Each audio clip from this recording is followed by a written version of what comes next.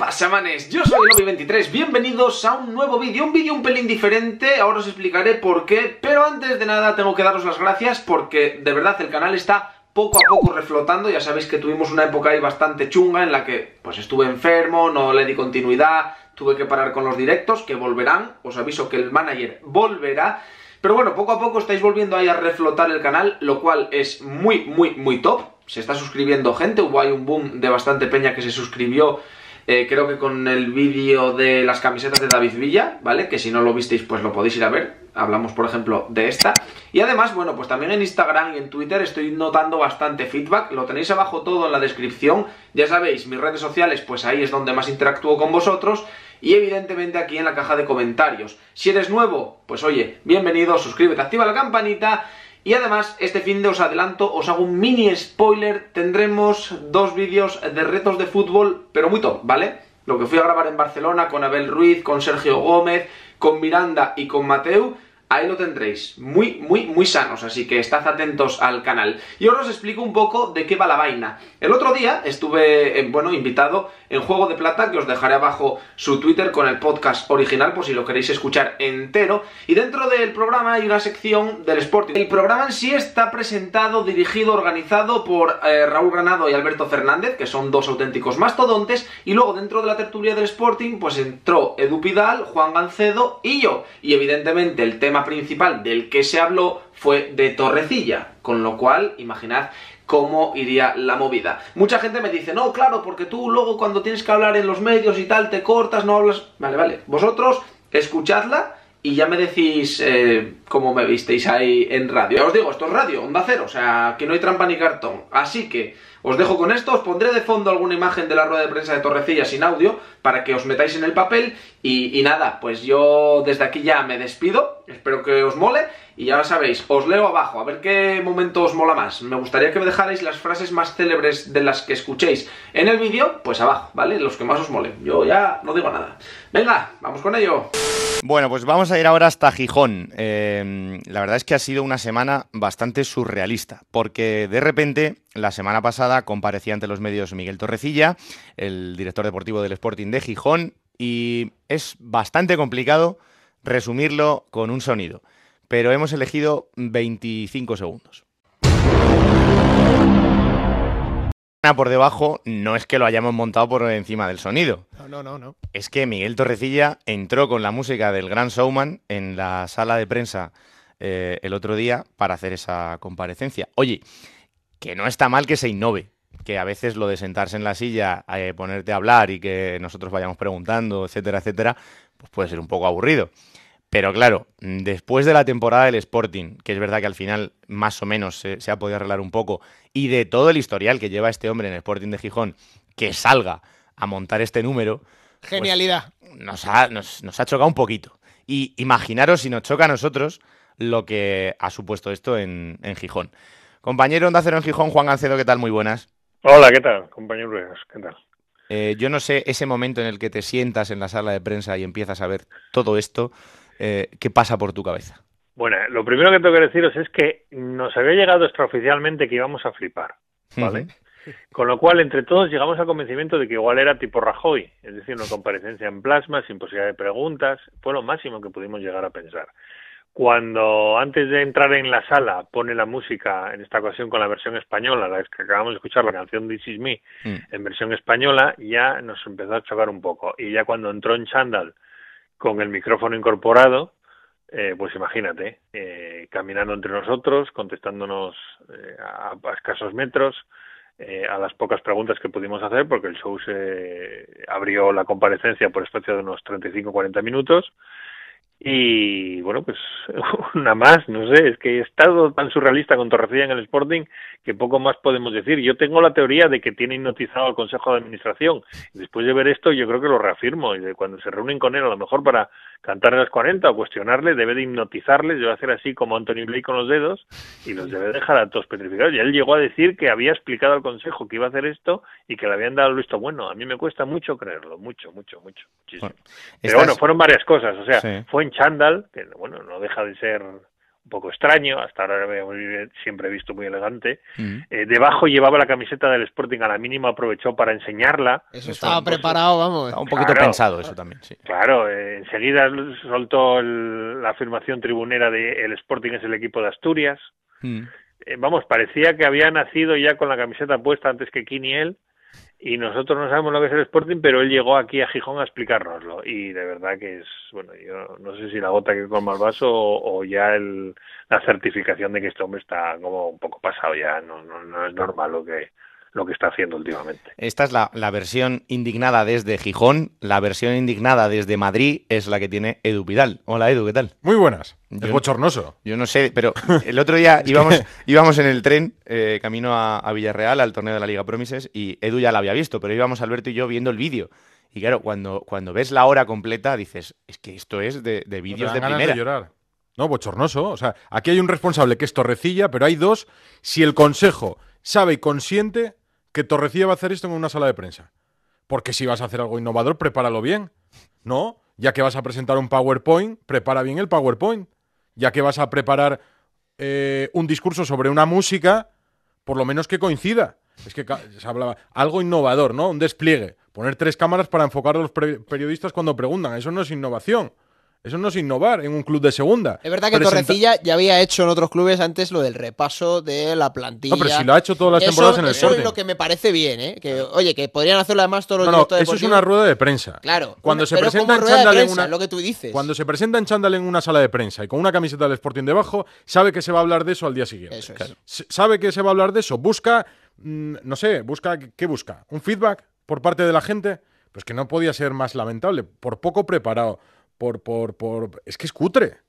Pero es que si luego vas más allá y dices, vamos a dejar de lado el chándal y la música, vamos a hablar del fondo, tampoco dice nada. Claro. Vamos a fijarnos en Mario, pero si ha hecho más de 30 fichajes en dos temporadas. Al final, cuando te saca un once titular y dice, este es el once titular de la próxima temporada. No, espera, que si la gente no lo sabe, que esté escuchando eh, el programa con Juan Gancedo. Eso es una infografía de un periódico asturiano que se llama La Nueva España. O sea, ha hecho un corte y pega de una infografía que la afición votó como el mejor once de la historia del Sporting. Es decir, ni para eso fue innovador. Cogió una infografía de la Nueva España y se lo llevó a la sala de prensa de Mareo.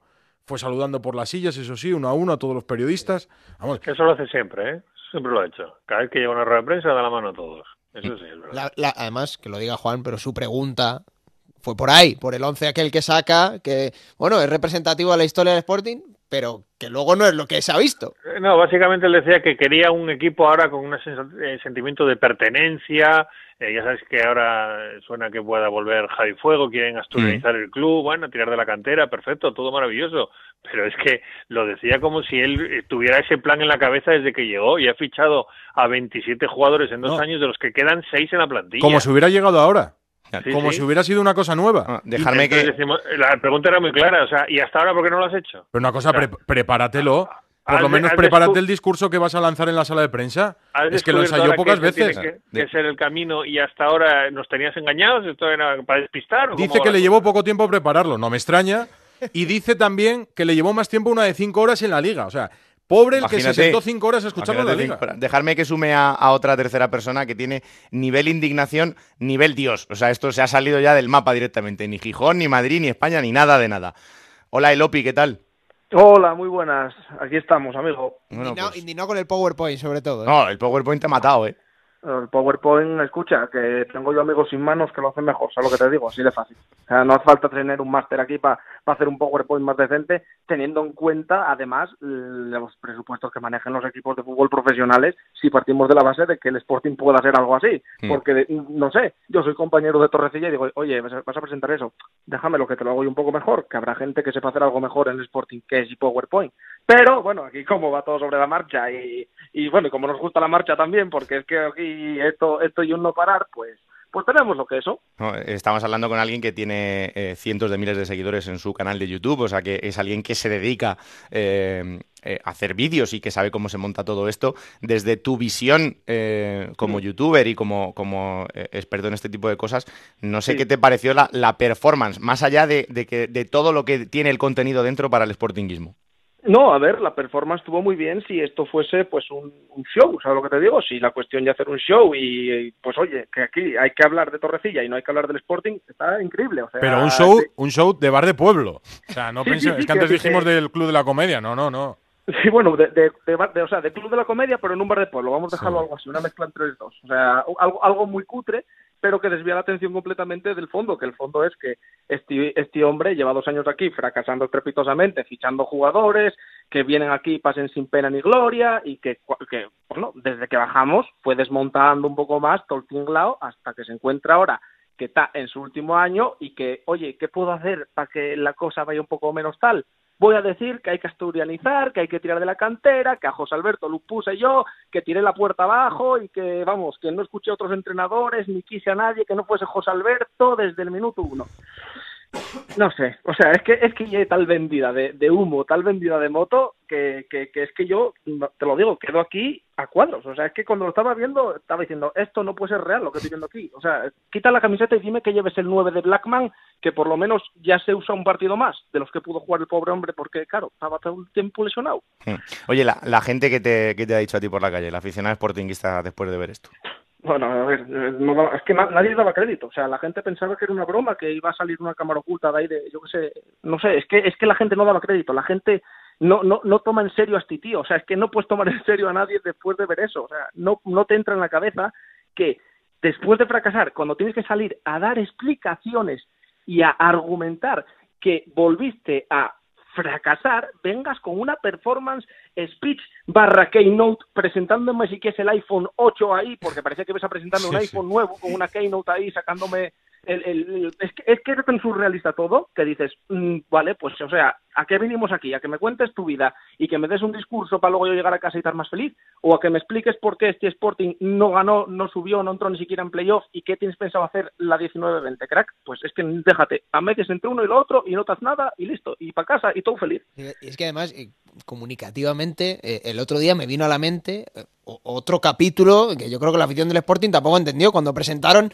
la equipación nueva, las camisetas, Sí, aquella el campaña rollo de con la las basura al todo lado de una basura, un Mira, contenedor. Así empezó la temporada. Pero es que esto, vamos a ver, ¿qué puede ser la institución con más repercusión en el Principado? Hombre, claro. Quitando la Fundación Princesa Asturias, a lo mejor, por los premios en octubre, pero vamos, es que no es, es que como empresa, el presidente del Sporting, el Consejo de Administración que permite esto, tiene que, o uno, salir avergonzado a pedir perdón, o dos, no permitir hacerlo. Porque esto no es serio. En una empresa, ¿pensáis que el portavoz de una gran empresa sale a una rueda de prensa con un espectáculo como este?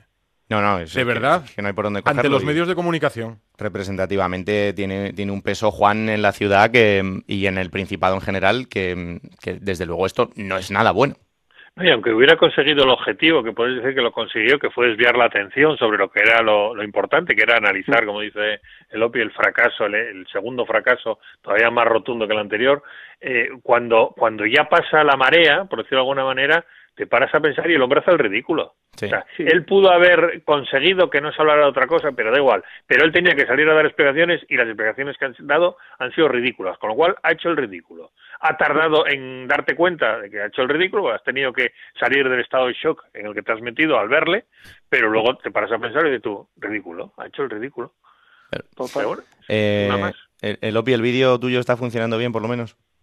Sí, no, tienen bastantes visualizaciones y likes y insultos, pero bueno, yo ahí, ahí, lo- ahí dejo a la gente que, que opine, que, que, que voy a hacer encima, deciros que no, que no opinen y que no digan lo que piensen. Lo que pasa es que, claro, ahora todo el mundo tiene una situación de, de miedo, de incógnita, de yo no renuevo, a mí estos que vayan a tomar aire y que me olviden, porque claro, cuando, quiero decirte, tú ahora mismo lo único que te puede venir un poco arriba y es que te engañen entre comillas, ¿vale? Pero bien engañado, o sea, que te llegue Torrecilla y que te lo venda bien, que conteste bien a los periodistas, que, oye, asuma, que diga, mira, la culpa es mía, la lié yo, no que capé, no que de largues, que venga diciéndome que habla con veteranos. ¿Con quién vas a hablar tú, Pin? ¿Con quién vas a hablar tú? Si hablases con algún veterano, diríate que lo estás haciendo mal, igual que te lo dice la gente que aún así dice que él va por la calle por Gijón y que nota que la gente que está con él. O sea, hermano, no sé por qué calle tú de Gijón, pero será alguna calle que no tenga gente, que esté ahí vacía con árboles y que o que no veas a la gente, no sé, no me lo expliques, porque no puede ser que te digan que están contigo cuando estás haciendo todo lo que estás haciendo. Entonces, claro, eh, de lo que hablamos. Tienes que salir ahí, tienes que dar explicaciones, tienes que asumir, tienes que bajar la cabecina, decir que vas a intentar que la temporada que viene, pues que sea de otra manera, vendes un poquitín la moto y oye, lo de Javi Fuego que está enganchando un poco a la gente, dices que vas a apostar por intentar traer, yo qué sé, vendes de que vas a intentar traer a Santos de vuelta a toda costa y la gente ya se empicha. Y es tan sencillo como eso, por ejemplo. Algo así, una cosina fácil, sencilla, sin complicarte de PowerPoints de 24 horas en casa sin dormir para celos. Pero claro, para eso hay que, hay que saber y hay que también tener un poquitín de, oye, de asumir el, el mea culpa. Elopi, te agradezco como siempre que atiendas la llamada. Aguanta el chaparrón, ¿eh? porque los azules igual se están riendo un poquito. Bueno, eso, eso ya hay otra, pero eso es lo que menos me preocupa ahora mismo. Pueden reírse lo que quieran, acabaron como nosotros. Quiero decir, estamos los dos el año que viene en segundo otra vez. La única diferencia es que ellos no tuvieron un gran showman ahí para despedir la temporada. Tú sí que eres un showman. Un abrazo, anda. Hasta luego. Chao, chao. Eh, Juan, lo de Javi Fuego parece que va mm, bien encaminado, que más pronto que tarde puede cerrarse.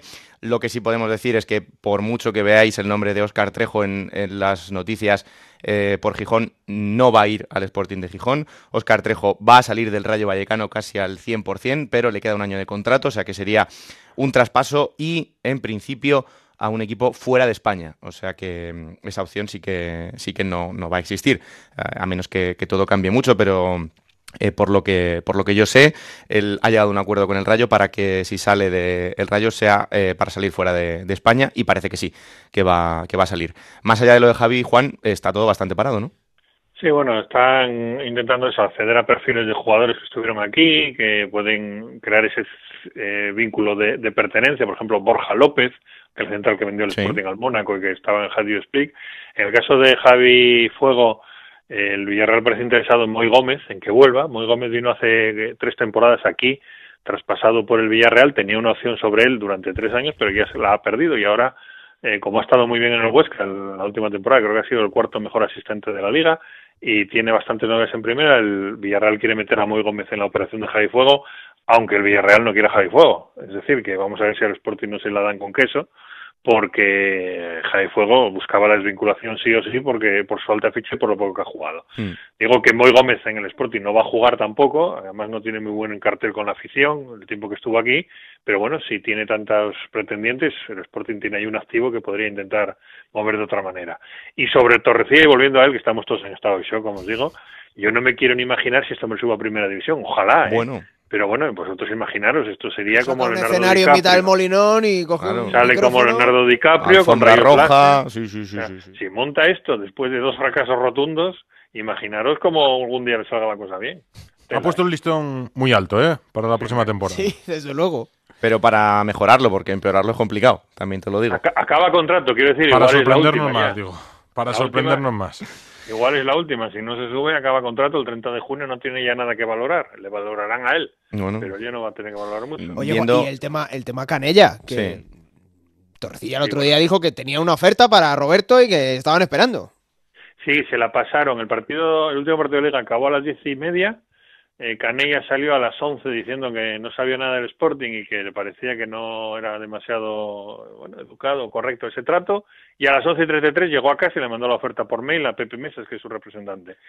Y no ha respondido todavía porque yo creo que responde sin responder. Vamos, a Canella yo creo que no le interesa que seguir en el Sporting. Es un tío que ha jugado 313 partidos con la camiseta, lleva 12 temporadas y es el capitán. Y lo justificó diciendo que como le iban a bajar el sueldo, que no se lo querían decir hasta que no acabara la liga, no vaya a ser que el chico se hundiera. claro, hombre. Es una vergüenza que al, al jugador con más partidos en el actual Sporting, el único superviviente de aquel Sporting depreciado, que es lo mejor que hubo en Gijón en los últimos 25 años, es una vergüenza que se le presente la oferta una vez terminada la No, pero temporada. es que, vamos a ver, tú Porque- puedes llegar deportivamente y decir, mira, eh, Roberto, mm, pensamos que Lo- ya no, da para más, eh, vamos a llegar a un acuerdo, se hace una despedida a final de temporada, tienes Eso un es. homenaje en el Molinón, lo que tú quieras. Pero el Sporting sabe que no va a competir por el playoff desde mucho antes de que termine la liga. Claro. Con lo cual pueden hablar con Canella y decirle, no cuento contigo para la próxima temporada. ¿Quieres despedirte? ¿Quieres un homenaje? ¿Te Mínimo entregamos cuatro algo en el jornadas césped? antes lo sabía. ¿Te Sobre todo vendiendo después en, en- en ese show que lo que quieres es recuperar el sportinguismo y recuperar la leyenda. O si seguido, mal. hazle la oferta que le van a hacer a la baja y mira si la acepta o no la acepta. Claro. Pero tienes una respuesta de Canilla antes. ¿Qué es esto de esperar? Es que me parecen mal hasta las formas, porque si el Sporting ya no cuida ni siquiera a lo poco que le queda identificable, Mm. ¿qué le queda al Sporting? Pues nada, pues Miguel Torrecilla a final de Y lo temporada. contó Juan aquí. Canella al final se despide sin, sin saber muy bien. Pena ni gloria con 8.000 Se personas despide, en el pero no se despide. 8.000 No, viendo no el es- partido, 3.000 quedarían cuando estaba dando aplausos en el centro del campo Canella. O sea, Eso, eso es una vergüenza. Una vergüenza se para el despide, club. Se, se despide como diciendo, por si acaso no lo volvemos a ver, os digo adiós. Claro, Sí, claro. Porque no lo sabía. Pues en esta es muy triste, porque, porque fijaros, con Badín llevan cuatro meses negociando, tiene 33 años, Mm. lleva dos temporadas en Gijón, el año pasado dio las pantadas, se marchó a Israel y llevan cuatro meses negociando. Y yo no creo que a Badín le hayan subido el sueldo. Puedo entender que a lo mejor se lo hayan mantenido, pero no creo que se lo hayan subido porque el Sporting va a tener menos pasta. Y, por ejemplo, el otro futbolista que hay aquí, que le ha quitado el puesto a Canella, tiene 34. Canella tiene 31, es Molinero, le ha quitado el puesto jugando a pierna cambiada. No sé, son decisiones que, desde luego, desde el punto de vista técnico y deportivo, pues están en su derecho de tomar. O sea, yo desde aquí no estoy pidiendo que renueven a Canella si no creen en él, pero una cosa es eso, es decir, el- la decisión deportiva y otra cosa es el trato. Porque alguien tiene que decir a Torrecilla que Canella es Canella. Claro. Que Canella no es ni Molinero, ni Blackman, ni Coffee, ni Álvaro Jiménez. Canella es Canella en Gijón. Y si él no sabe quién es Canella, que se, se lo tendrá que decir alguien que esté por encima de él. Oye, mira, con este hay que portarse como caballeros. Mm. Yo creo que hay que portarse como caballeros con todos, pero sí, con este evidentemente, pero con Pero alguien con que este es más. una leyenda dentro del equipo, pues, pues mucho más. Bueno, pues eh, ya veis, así está la cosa en el Sporting. Va a ser un verano, una vez más, eh, un verano interesante para ver cómo se, cómo se arma el proyecto para la, próxima temporada. Un Sporting que cada vez ve más reducido su presupuesto, evidentemente, con eh, si pasas más años en segunda, pues vas a recibir menos ingresos y eso también se va, se va a notar en una plantilla en la que hay que dar bastantes bajas y bastantes altas. Así que vamos a ver si el señor del show pues coge las riendas y hace otro show durante el verano y, y en agosto pues, pues vemos a ver con qué, con qué protagonistas nos hace la película, pero vamos, esta película ya ha empezado un poquito torcida. Que Por hay- cierto, dime. eh, Edu, Mm. mm. por Dios, que vaya pronto a Llanes a relajar, porque vaya año que lleva, ¿eh? Como el Sporting o el Madrid, vaya añito que lleva. Necesita Ah. unas vacaciones urgentes ya. Tú no sabes el, Necesita Llanes en vena ya. el- el psiquiátrico en el que se ha convertido esta redacción para todos, ¿eh? No, no ha sido una temporada fácil aquí.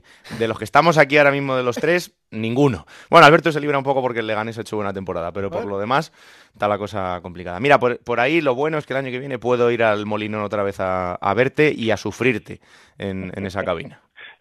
A sufrirte a ti también, Ya, cabrito. ya, ya, ya, ya. Hay que ser cutre para poner el gran showman y encima ponerlo en español.